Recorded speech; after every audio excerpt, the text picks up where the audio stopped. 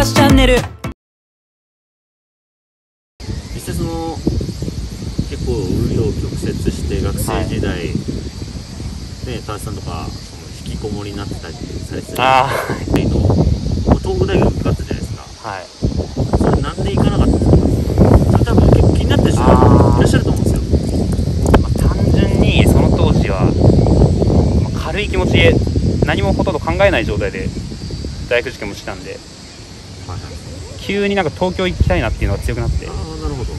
東京憧れみたいで早稲田に行ったんですよね。なはい。でなんで早稲田辞めちゃったんですかいや馴染めなくて東京に。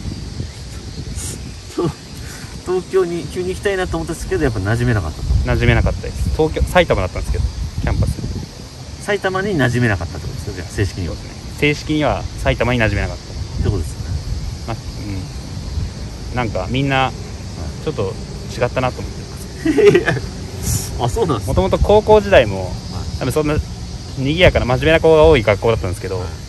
そこでもうまくこう生活できなくて高校時代の時は僕あの休み時間になったら本当友達誰もクラスにいないんではい。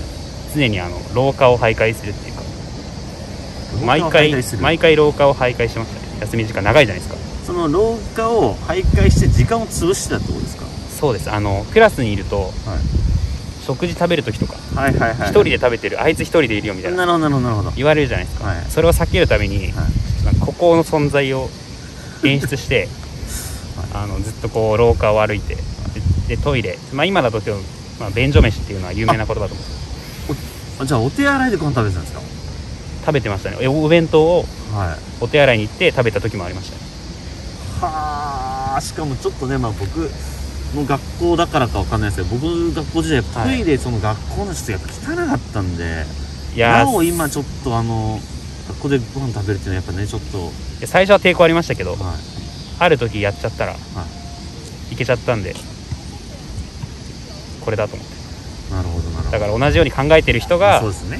ね多分全国にいたんでしょうね、はい。それで多分便所飯っていうのが、うんはいはいはい。なるほど。じゃあ結構そういったところで学生生活を送ってでそこから大学辞めるじゃないですか。そうですね。そこそうですね。大学浪人していって、はい。辞めて馴染めず辞めて、はい。で最初はなんか急に医者になりたくなって。はいはい。結構衝動的なのはありますね。衝動的です。はい。医者だと思って。はい。医者になろうと思って大学辞めたんですけどあの当時なんかそのニュースとか見てたらなんかあの医療ミスがすごいニュースで取り沙汰されてる時期ではい。手術後になんかガーゼを体さんの患者さんの体にガーゼを置き忘れたみたいな。ありましたね。自分これめっちゃありそうだなって思ってあのうんなるほど。あのミスが多いんですよめちゃくちゃ。まあそのちょっとしたねまあ前の動画を振り返っていただければ分かると思うんですけど4度目のねはい。正直東大合格の「書く」っていう字がね見たことない字されてましたもんねなんか1個のことに集中しちゃうと1個のこと忘れちゃうみたいな感じで,、はいはいはい。で高校の時も僕毎日忘れ物してて。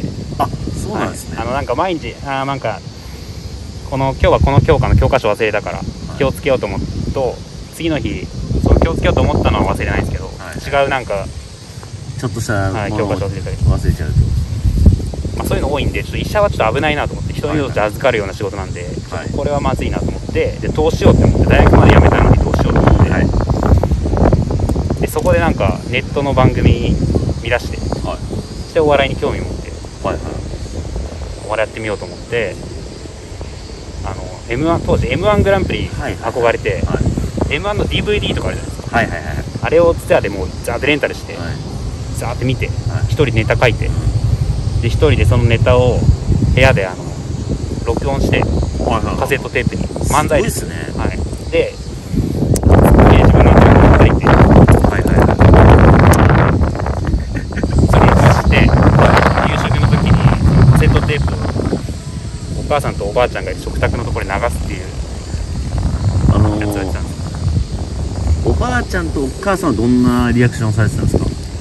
戸惑ってました いやそりゃそうでしょあの僕はやっぱりすごい熱がお笑い熱がすごかったんで当時。ああの真剣なの分かるしっていうところです楽しい楽しいでもうネタ書きまくってやってへて。そしたらなんか気使ってくれてまあ面白い面白いと聞いたらうんまあ私わかんないけど面白いんじゃないの？みたいな。はいはい。でなんか r 1グランプリにはいはいはい。出てみようっていうことで、えあ出られたんですね。はい、当時その引きこもったんですけど、はい。まあ、ほぼ受験勉強でやることなくて部屋に引きこもってそんな状態で生活してて。たらまあせっかくなら自分でやりたいと思って。はいはいはい。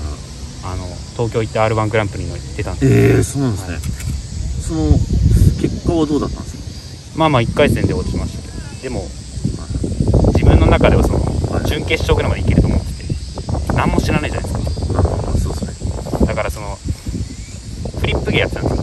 ええあのあそのフリップ系やるんですね。はい。あのどんな感じの？いやあの亀田光輝のモノマネだったんですけど当時亀田光輝がすごい出てたんで,、はいはいであのキャメラ長男っていう芸名で、はいはいはい。まあ、上半身裸で フリップめくって、はい。あの言葉の足し算引き算掛け算っていうネタだったんですけど、はいはい。まあなんかカブカブトムシ引く角はゴキブリやなっつってシャオラーみたいなことを言うネタでまあ1回戦で本当に。まあ、ちょっと面白そうですけどね。あと田中さん今ちょっと亀田光輝のモノマネしたせいでちょっとなんか顎ガクガクいってましたね。なんか。動揺が顎にかかる明らかに久しぶりにマスクの。これやや説明するのにやるのめんやばいな 迷い迷いがあるいやいやそんな無理してやらなくて大丈夫です。でそれやってはい。そっから芸人ですよね。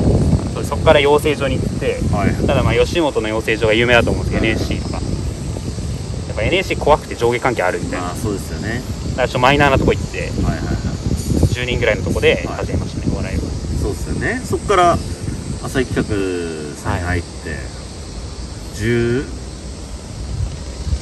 何年ですか？やられて、まあ10年ちゃちょい。10そう年弱11年やられて、はい、まあ、今年、まあ、もう辞められて。いはい、やもうそう考えると結構濃い。こういうまあまあさっといきましたけど、まあまあお笑いお笑いがねちょっとあんま肌に合ってなかったなっていうのを実感しちゃったんでなんかねいろんなことにシフト変更しながら。そうですね。だから。でもまあそれも経験としてやっぱりいいと思うんですよ。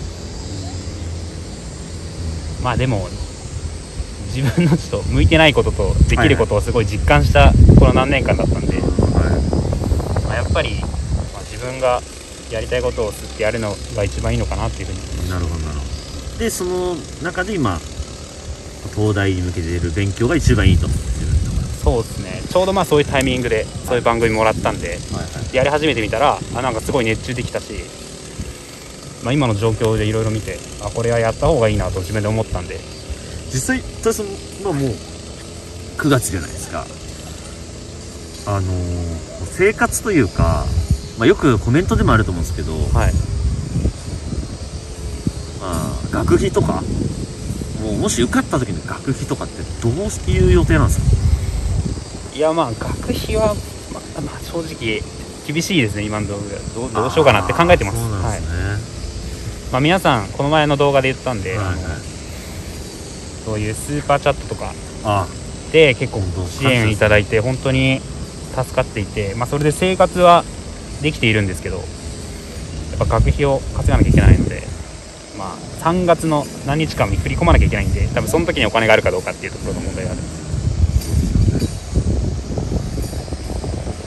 まあ、ちょっとここでもう一回勉強も頑張ってはい。YouTube も頑張ってっていうところですよね、そうですね。そこが、まあ、近くなってくるんではい。勉強頑張りって。もう川内さんを応援する人はねもう本当にスペシャリストでもうすごい方いっぱいいますのでもうその人たちのなんていうんですか思いもしっかり多分受け取ってると思うんで、そうですね。だから東大合格したらそういう支えてくれたはい、方たちにいろいろ恩返しもしていきたいと思ってます